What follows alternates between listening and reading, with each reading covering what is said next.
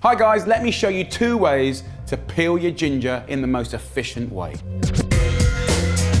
The most efficient way to peel a piece of ginger is simply to use a little spoon and scrape it, just like that.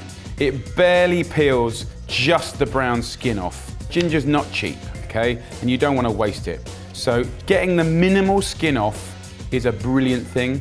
And then you've got a lovely piece of ginger ready for some chopping action.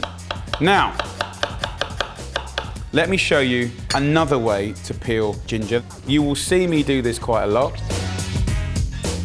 If you just let that dry in your kitchen, you can make the most fantastic ginger teas with a little teaspoon of honey. It's brilliant any time of year. You can put that into a pan with stewed fruit and it turns humble fruit like apples and pears into something way more exotic. So there you go guys, I hope you found that really useful. If you want more tips, click the link.